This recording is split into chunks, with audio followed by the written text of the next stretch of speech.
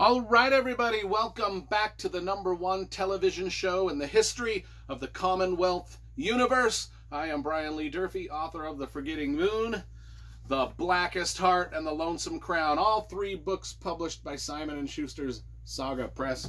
Today I'm going to be reviewing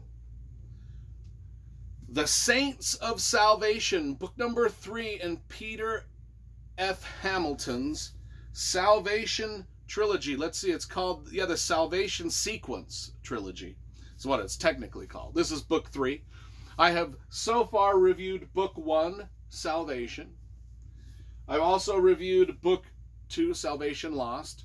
I think I reviewed book one two years ago, this one about last year. And now we're to book three.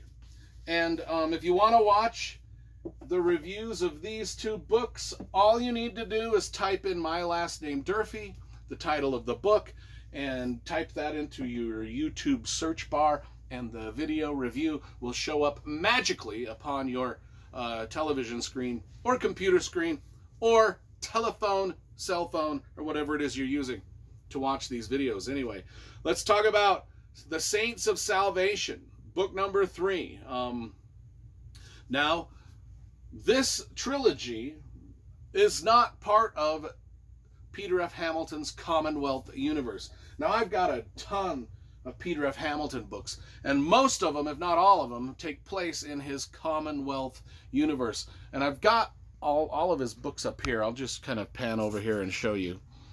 There's a stack of them, and then there's another stack of them. But those books are all part of the Commonwealth Universe. They're all kind of tied together. These three books are not. What are they about? Um, well, book one starts out, we'll just give a little brief description of each book. Book one, Salvation, starts out, um, you know, there's stargates. That's how people do time travel, not time travel. Uh, faster than light travel. There's stargates. They use stargates. Now they also have starships, but they use the stargates more for the time travel. Now, um, one of these starships crashes right a long time ago. It crashes. Um, it's light years away. Uh, there's a mystery of why it crashed, and in this book they send a group of investigators out to find out why it crashed. This book is sort of about a set of, it's kind of like tells you about the life history of all these people that are on this investigative trip on this starship, sort of get the background of all them and get their stories, get to know them. That's kind of what this one was um, about. Um, and then in this one, there's also, you know, we've got this group of investigative people going out to find out about this crashed starship. Well, there's also sort of an infiltrator, an alien infiltrator in this group who we don't know who it is. Kind of like in Battlestar Galactica, the modern Battlestar Galactica, how they have Cylons that look like humans. It's kind of what we're dealing with there. That's kind of the plot of that story. Reminded me a lot of the book Hyperion by uh, uh, Dan Simmons. Now, Salvation Lost this is kind of like got you know multiple timelines going on. Like we we see we see the story from like 20,000 years into the future and then we also pulled back into the present time which is gosh it's about I think this these things take place in the year 22 yeah they're about the year 2200 so about 150 no, 170 180 years from now. Um that's one timeline we're following and then the other timeline is like 20,000 years or some odd years beyond that and the far far future. So we're following these two different timelines that kind of interweave a little bit. And we've gotten we're talking a lot about god and religion and the alien and the aliens that are sort of um, in this um, there's sort of a crime syndicate slash um, alien race that um, they're kind of like religious extremists these aliens and that's kind of what we're getting in book two and then we get to book three, which sort of ties all of this stuff together. You know, um, Peter F. Hamilton deal when his science fiction space opera novels, they've got all of the starships and faster than light travel and people with blasters and all the Star Wars sort of action and adventure, but they're also wrapped around these really hard science fiction ideas. Just these grand, huge way far out ideas, just mind blowing ideas. And so all of this is kind of coming to culmination in this third book. And I really like this series. Just it's mind blowing in that way. And rather than like accidentally talk about spoilers for this book, I think I'm just going to read the back jacket copy to give you an idea of what this book was about. And it's a very rousing conclusion to the trilogy. Rousing? Is that the word I'm looking for? Yeah, it's good enough.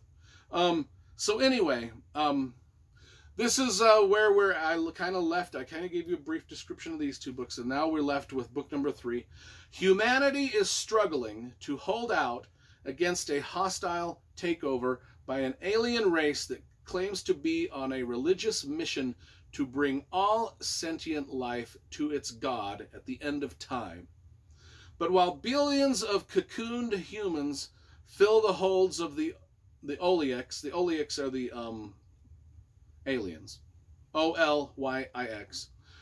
While billions of cocooned humans fill the holds of the Olyix's deadly starships, um, Humankind is playing an even longer game that the aliens may have anticipated. From an ultra secret spy mission, which I've talked about, to one of the grandest battles ever seen, no strategy is off the table. Will a plan millennia will a plan that's been a millennia in the making finally be enough to defeat the seemingly unstoppable enemy? And what secrets are the Olyix truly hiding in their most zealously protected stronghold? Um, yeah, it's one of those things where are the is this religion that the aliens believe in? Is it real? I mean, are they worshiping the true gods? And is this all this crazy stuff that's happening to humanity from the year 2200 all the way for 20 thousands of years? It's like just it seems like this this engagement with this alien enemy is is a long game, like a 20,000 year long game that's being played out throughout these books as we bounce between these two timelines and as they sort of converge together. Um, it's just quite simply amazing. I don't know that just having been a writer myself, to be able to do books that are this vast in scope, in time, in time travel, in light speed travel, and just with such huge ideas that Stephen or that Peter Hamilton puts in these books. And it's not just these books. It's all of his Commonwealth novels that I showed you too. They're just mind-blowingly big. And um, I don't know how a person can do it. I mean, it's genius level writing and thinking beyond what I can do. That's all I'm saying. Um, you know, I write books about knights and swords. It's about as deep as it gets. Um, this stuff is crazy good. Okay, so I give Saints of Salvation a 9.5 out of 10.